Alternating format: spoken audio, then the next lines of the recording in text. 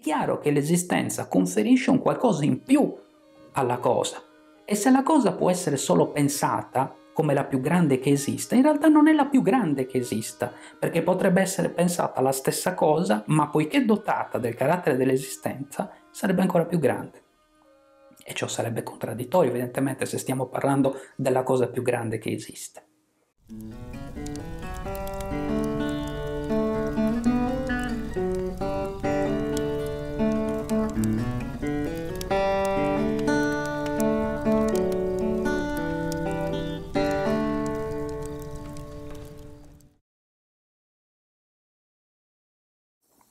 Oggi avremo a che fare con una mm, parola chiave un po' eh, insolita, perché in realtà non si tratta di una parola chiave, ma potremmo dire di un'espressione chiave.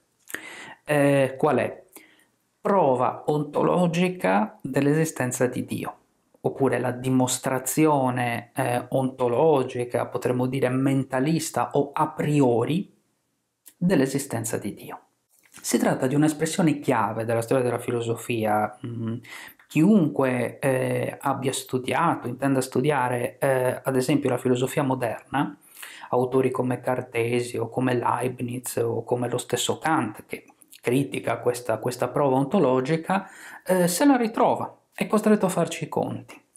Quindi è, eh, si tratta di, di un concetto eh, che ha influenzato tantissimo la storia della, della filosofia e noi ovviamente dobbiamo conoscerlo. Eh, e dobbiamo anche fare una certa attenzione perché abbiamo notato che eh, sul web ehm, eh, si trovano dei, dei video che sono poco precisi su questo. Noi come sempre andremo a leggere dentro, quindi andremo a citare dall'opera in cui è contenuta questa prova ontologica dell'esistenza, dell'esistenza di Dio.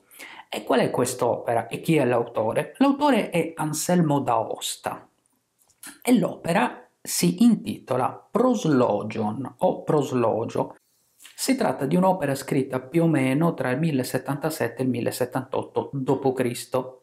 da Anselmo d'Aosta o Anselmo di Cantepuli. Quindi già dalla datazione, appunto ci troviamo in pieno medioevo, eh, si capisce la potenza di questo concetto, la potenza di quest'opera che è stata in grado veramente di influenzare la filosofia per secoli e secoli. Eh, ma non perdiamo tempo e cerchiamo di capire immediatamente in che cosa consista questa spiegazione di Anselmo appunto circa l'esistenza di Dio? Come Anselmo d'Aosta dimostra l'esistenza di Dio attraverso, lo ripetiamo, una, eh, una prova, eh, una dimostrazione a priori. Questa è la caratteristica del proslogion. Lo ripetiamo perché precedentemente, ovvero prima del proslogion, Anselmo d'Aosta scrisse un'altra opera che si intitola Monologion e in quest'opera invece è contenuta una prova diversa dell'esistenza di Dio, la cosiddetta prova a posteriori. Questo a noi non interessa perché non ha niente a che fare, e qui la confusione anche che abbiamo notato eh, su alcuni video presenti nel web, eh, quella confusione che noi non dobbiamo fare perché a noi interessa la prova eh, ontologica. Ma partiamo subito dalla citazione e vediamo che cosa scrive Anselmo nel proslogion. Ora noi crediamo che tu sia qualche cosa di cui nulla può pensarsi più grande, si sta riferendo ovviamente a Dio. Anche lo stolto dunque deve convincersi che vi è almeno nell'intelletto una cosa della quale nulla può pensarsi più grande. Questo è il presupposto da cui parte Anselmo d'Aosta. Lui dice, quando pensiamo a Dio, che cosa stiamo pensando? Stiamo pensando a quella cosa di cui nulla si può pensare di eh, più grande. No? Quindi qualcosa eh, che sia più grande di lui non è possibile eh, pensare. Tu sei quella cosa della quale nulla di più grande si possa pensare. Aliquid quod nil maius cogitari possit. Questo è il presupposto da cui parte Anselmo d'Aosta. Facciamo attenzione, perché lui dice chiunque, qualsiasi persona pensa questo. Nella mente di ognuno di noi è presente questo pensiero, potremmo dire. Dice anche dello stolto, anche di chi voglia negare l'esistenza di Dio. Ovvero anche chi nega l'esistenza di Dio, però è costretto ad ammettere che Dio sia quella cosa più grande di tutte, cioè quella cosa eh, che non ammette qualcos'altro di più grande, è come se fosse il pensiero più grande di tutti, non si può pensare qualcosa di più grande di Dio. Dio è quella cosa per la quale non si può pensare nulla di più grande. Questo lo deve ammettere chiunque, sia chi crede nell'esistenza di Dio, sia chi non crede. Chi non crede dirà sì, è quella cosa eh, della quale non si può pensare nulla di più grande, però non esiste. Ma leggiamo allora che cosa scrive Anselmo d'Aosta. Ma certamente ciò di cui non si può pensare il maggiore non può esistere solo nell'intelletto. Infatti, se esistesse solo nell'intelletto, si potrebbe pensare che esistesse anche nella realtà, e questo sarebbe più grande. Anche qui, attenzione, seguiamo il ragionamento di Anselmo, spieghiamo questa citazione perché è un passaggio logico, appunto un passaggio razionale, mentalista, è un passaggio a priori, sono tutte considerazioni che secondo Anselmo si possono ricavare a priori. Questa è la prova a priori dell'esistenza di Dio perché non necessita di nulla, di, di, nessuna prova, di nessuna evidenza che stia fuori, al di fuori, quindi esperibile attraverso i nostri sensi o conoscibile in maniera diversa. Per Anselmo sta dentro di noi questa prova, ci possiamo arrivare logicamente.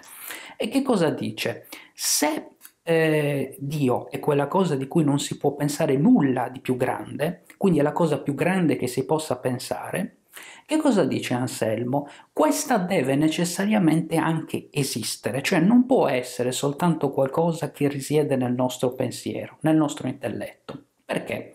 Perché noi potremmo, dice Anselmo, pensare a questo punto una cosa come Dio, cioè la cosa più grande che si possa pensare, ma caratterizzata anche dall'esistenza anche esistente e quindi a quel punto arriveremo al paradosso per cui eh, ciò che noi abbiamo pensato come anche esistente diventi più grande e sia più grande di ciò che abbiamo soltanto pensato come la cosa più grande ma non esistente.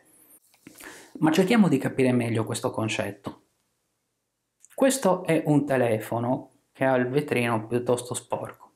E questo telefono è un oggetto esistente, io ce l'ho in mano, ci posso telefonare, posso fare tante cose, quindi posso usufruire di questo telefono ho la certezza che sia esistente. Ora io potrei andare a prendere il libretto delle istruzioni di questo telefono e che cosa noterei? Noterei il classico disegnino del telefono. Quel disegnino potremmo dire non è altro che il progetto anche del telefono, l'immagine del telefono, l'immagine che deve aver avuto chi l'ha progettato e chi poi è andato a, a dare indicazioni su come costruirlo.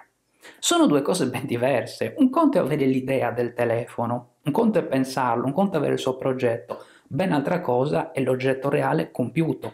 Un conto, dice Anselmo, è avere l'idea di un quadro, altra cosa è realizzarlo. Ora non c'è dubbio, secondo Anselmo, che la cosa realizzata, pienamente compiuta, quindi il pensiero che non è soltanto pensiero, ma che diventa anche esistente, sia superiore rispetto alla sola cosa pensata. Ma allora se Dio è qualcosa che risiede soltanto nel nostro intelletto, soltanto nel nostro pensiero, dice Anselmo, un po' appunto come il disegno di un telefono o, il, o lo schizzo di un dipinto, soltanto l'idea di un dipinto che non si è ancora realizzato, mh, mm, sarebbe sbagliato considerarlo come la cosa più grande sarebbe in realtà una cosa incompiuta e noi potremmo pensare la stessa cosa, la più grande di tutte, però come esistente e quindi a quel punto penseremmo qualcosa paradossalmente di più grande di Dio, il che è impossibile. Quindi per Anselmo la cosa più grande di tutte, la cosa più grande che noi possiamo pensare, la più grande di tutte, per cui tutte necessariamente sono inferiori, non può non essere dotata anche di questo carattere, dell'esistenza. Questa è la spiegazione ontologica dell'esistenza di Dio per, per Anselmo. Ma continuiamo a leggere ciò che dice Anselmo. Se dunque ciò di cui non si può pensare il maggiore esiste solo nell'intelletto, ciò di cui non si può pensare il maggiore è ciò di cui si può pensare il maggiore, il che è contraddittorio.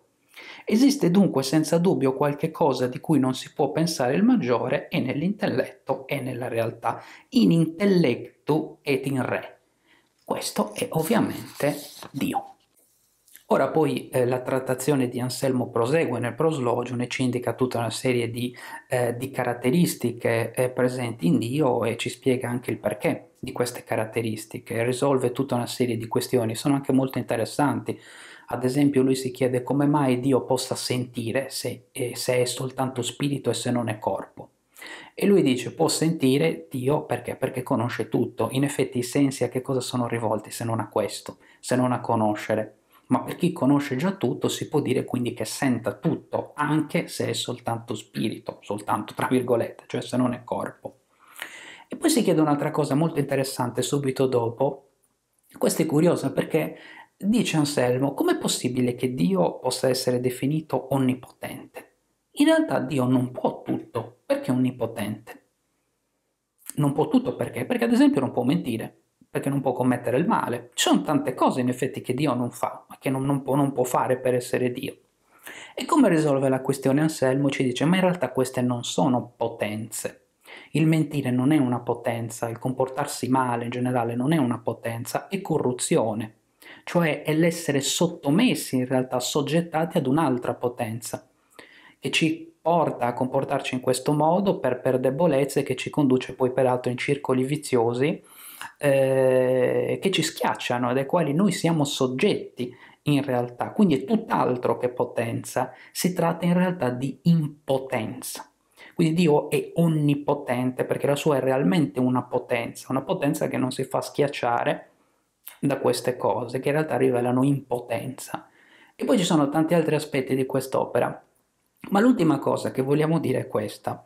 La prova ontologica eh, dell'esistenza di Dio, come abbiamo visto, eh, è stata appoggiata da tanti, da tanti, filosofi, è stata criticata. Lo stesso Kant, lo abbiamo visto nel video sulla critica della ragion pura, critica la prova ontologica di Anselmo. Ma la prima critica in realtà Anselmo la ricevette quando ancora era in vita e rispose anche a questa critica. La critica venne da un altro filosofo che si chiamava Gaunilone che cosa dice Gaunilone? Gaunilone dice che eh, quello che sostiene Anselmo sia eh, criticabile sotto due aspetti. In primo luogo Gaunilone non riconosce il legame tra ciò che sta nel pensiero e ciò che esiste. Lui dice noi possiamo anche pensarla una cosa, possiamo pensare ad un'isola deserta, qualsiasi cosa, ma non è detto che poi questo esista in realtà solo perché possiamo pensarlo.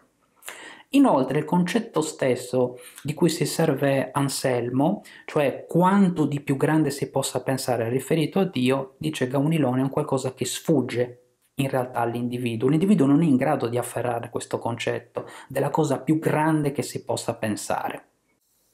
Molto brevemente, e qui concludiamo, che cosa risponde però Anselmo d'Aosta a Gaunilone? Anselmo d'Aosta risponde così, dice, è vero, che ci sono delle cose, tutte le cose finite che possono essere soltanto pensate, ma non è che per il fatto che le si pensi appunto poi queste debbano necessariamente esistere. Questo vale per tutte le cose finite, ma non vale per la più grande che si possa pensare. Per la più grande che si possa pensare logicamente, vale questo principio, che se è realmente la più grande, deve anche esistere perché lo abbiamo visto prima anche con l'esempio del telefono, con l'esempio del dipinto, è chiaro che l'esistenza conferisce un qualcosa in più alla cosa. E se la cosa può essere solo pensata come la più grande che esista, in realtà non è la più grande che esista, perché potrebbe essere pensata la stessa cosa, ma poiché dotata del carattere dell'esistenza, sarebbe ancora più grande. E ciò sarebbe contraddittorio, evidentemente, se stiamo parlando della cosa più grande che esiste. Inoltre, per quanto riguarda la critica al, al concetto appunto della, della, cosa più grande che si possa pensare, eh, e che poi richiama l'individuo appunto a, a, all'assoluta incapacità di pensare Dio, la cosa più grande e, e, a potersi servire soltanto della fede, dice Anselmo d'Aosta che in un certo qual modo è possibile per l'individuo capire questo, c'era al suo interno. È chiaro che non riesce a ferra- afferrarlo in tutta la sua potenza, perché Dio in tutta la sua potenza e in tutta la sua onnipotenza, come abbiamo visto, è inconoscibile. Tuttavia è presente nell'individuo questa capacità, cioè la capacità di, di pensare, di capire in un certo qual modo la cosa più grande e di capire inevitabilmente che questo ovviamente sia Dio. Questo è brevemente ciò che noi troviamo nel, nel proslogion. Questa è la prova ontologica dell'esistenza di, di Dio di Anselmo d'Aosta. Se questo video vi è piaciuto, noi vi invitiamo come sempre a mettere il like, iscrivervi al canale, seguite anche la nostra pagina Facebook, è tutto gratuito, lo ricordiamo e insomma ci date anche una mano a far crescere questo, questo canale, questo progetto.